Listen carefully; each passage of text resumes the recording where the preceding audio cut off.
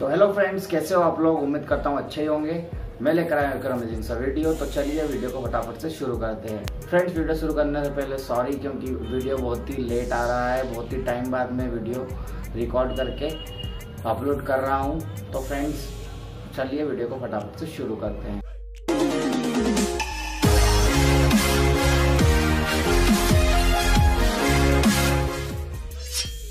Friends आज के video में हम क्या करेंगे? हम आपने देखा होगा कि केरोसिन फ्लेमेबल होता है, पेट्रोल फ्लेमेबल होता है और बहुत सी चीज़ें फ्लेमेबल होती है।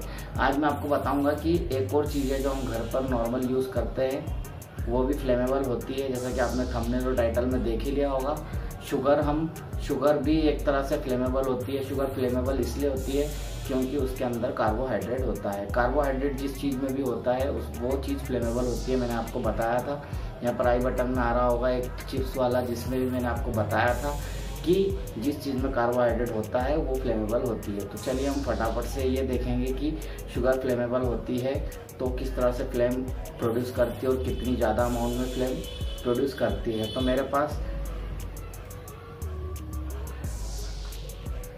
तो फ्रेंड्स मेरे पास ये रही शुगर पाउडर है। मैंने इसे मिक्सर में या मिक्सी में बिल्कुल बारीक पीस लिया है। उसके बाद मैं इस सैनिटाइज़र की बॉटल में इसे भर लूँगा और उसके बाद मैं आपको बताऊँगा कि ये फ्लेमेबल किस लेवल तक होती है और ये कितनी ज़्यादा फ्लेम प्रोड्यूस करती है। तो चलिए इसे हम टेस्ट करके देखते हैं।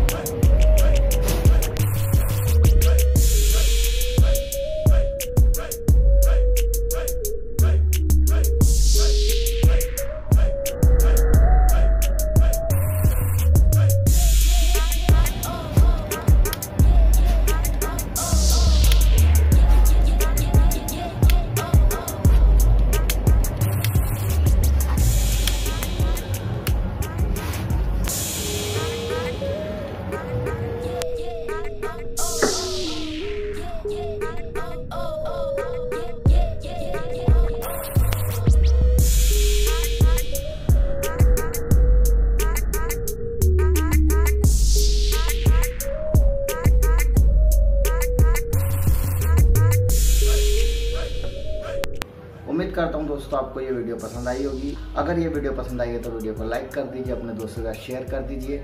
मैं इसी तरह की वीडियो लेकर आता रहता हूँ। और फ्रेंड्स, आप मुझे इंस्टाग्राम पर भी फॉलो कर सकते हैं। यहाँ पर नीचे कहीं आइडिया आ रही होगी। और फ्रेंड्स, आप अपने आइडियाज़ और सजेशन मुझे नीचे कमेंट्स बॉक्स में बता सकते हैं। मैं उस कमेंट में से जिसका भी कमेंट पिक करके वीडियो बनाऊँगा, उसका भी मैं नाम वीडियो में लूँगा। तो आप मुझे अपने आइडियाज़ और सजेशन नीचे कमेंट बॉक्स में बताइए। और फ्रेंड्स अगर आप मेरे चैनल पर नए हैं, या फिर आपने मेरे चैनल को अभी तक सब्सक्राइब नहीं किया है तो नीचे दिए गए लाल कलर के सब्सक्राइब बटन को दबा दीजिए और उसके पास में लगी घंटी को भी बजा दीजिए, ताकि मेरे आने वाले हर नए वीडियो का नोटिफिकेशन आपको सबसे पहले मिल सके। तब तक के लिए जय हिंद, वंदे मातरम।